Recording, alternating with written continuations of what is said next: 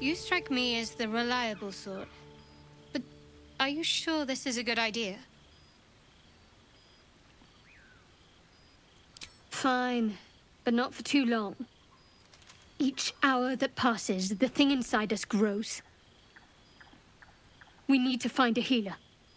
Let's wake up at first light.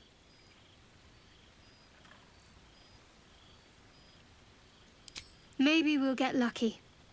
We're overdue some good fortune. Rest well. We'll need our strength.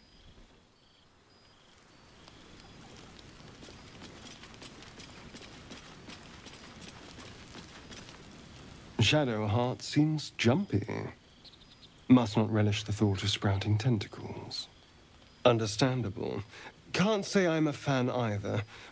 It's just hard to join in when all of this feels so new. The night normally means bustling streets, bursting taverns. Curling up in the dirt and resting is, um, a little novel.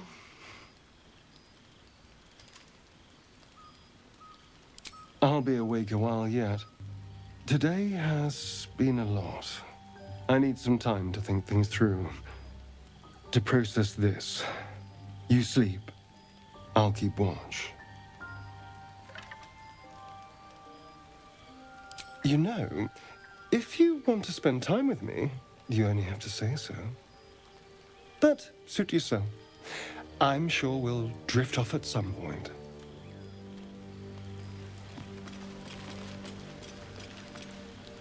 A monster forms inside us, yet you waste time with idle chatter.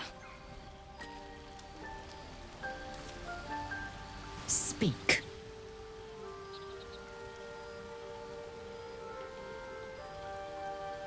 I expect I am your first.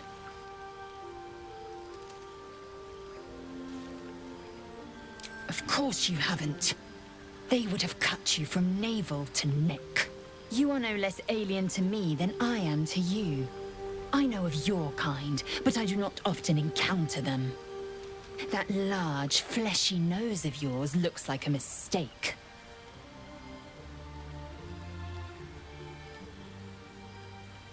Yes, best to keep quiet, lest any drivel leak from your lips.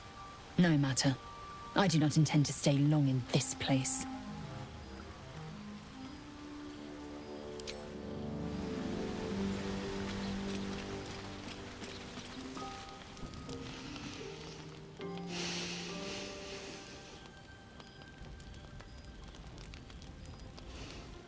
Go to hell. Nothing. Nothing. I'm just poorly making a point. Go to hell. An everyday expression. So trivial it's almost meaningless. But we've seen hell. It's real. And it isn't trivial. Devils, dragons, mind flayers. They used to be abstracts. Pictures on a piece of paper. What a difference a day makes. Now we have tadpoles slithering through our heads like carnivorous feti. That's not abstract.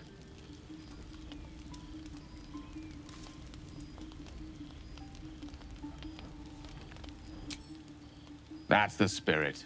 Let's be up with the lark. Find a healer before the wee one gets hungry.